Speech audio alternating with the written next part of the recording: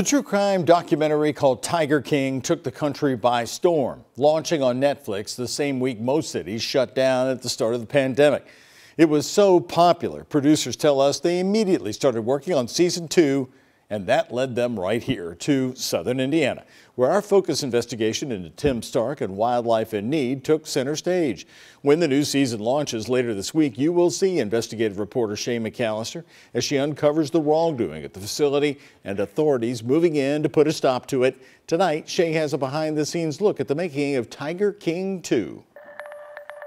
My name's Joe Exotic. This is my way of living, and nobody's going to tell me any otherwise. Within 30 days of its 2020 release, more than 64 million households watched Tiger King on Netflix. It came out, it was a bit, a little bit of a, a sensation, and so they Netflix said, don't stop filming, just keep going. Louisville based film editor Doug Abel spent years working on the project, and then he got the call. The show was doing so well, Netflix wanted more. We sort of just followed where the chaos was. A journey he says started right in his own backyard. Well, there's a guy who's about 20 minutes away. I know you're an editor, but would you feel we know that you do other stuff too. Would you feel comfortable interviewing him? And I said, sure. Come get me, mother.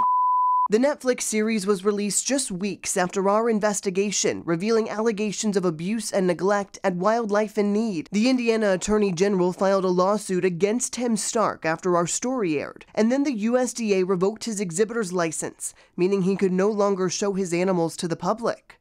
The Tiger King crew was following it all. Tim ended up being um, a pretty major character. Stark's storyline was less sensational than some of those in season one. So what will you see this time around? See these places really struggling to to stay open and the authorities are coming in and they're using the legal system to uh, take these places to task. He says helping exotic animals was always in the DNA of the Tiger King project, but drama drove it out of the original episodes. With Joe and Carole Baskin, and um, that got lost. And so um, it was almost a weekly discuss discussion it was almost a weekly discussion in the second season. How can we try to keep the focus on that?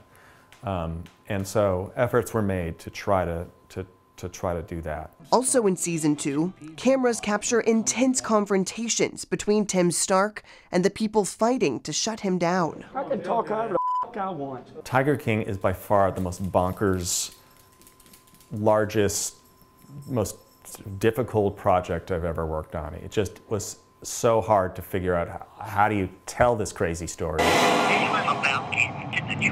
Abel's work from his edit suite on the second story of his Louisville home, soon to be seen by millions across the country. I hope that we can do more justice to the, to the tigers and the other animals this time around.